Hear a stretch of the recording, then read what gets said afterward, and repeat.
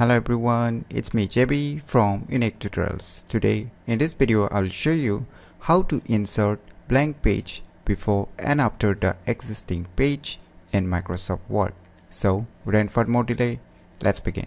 So firstly just open the Microsoft Word on your respective computer.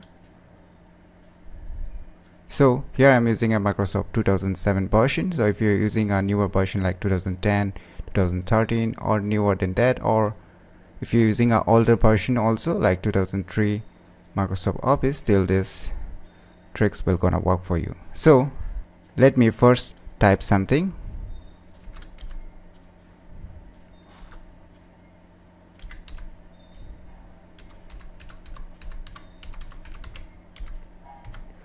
So say this is the existing Microsoft Word page right?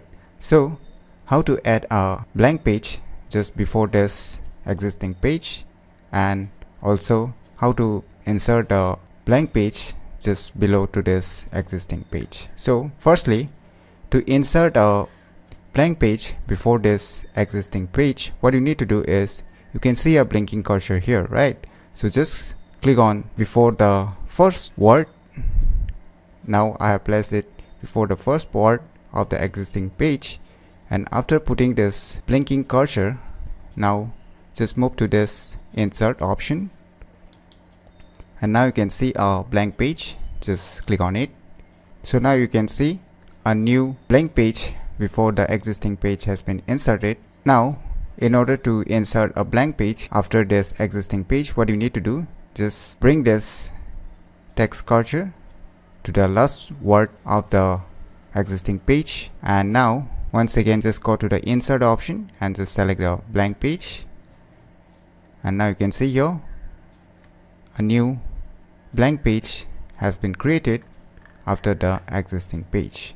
So if you want to delete the blank pages then what you need to do say you want to delete this bottom blank page then just click on the blank page and just hit the backspace twice.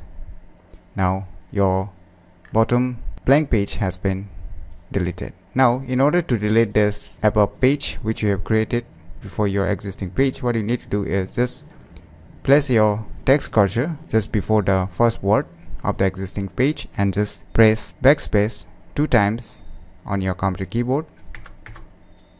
Now you can see we have removed all the blank pages.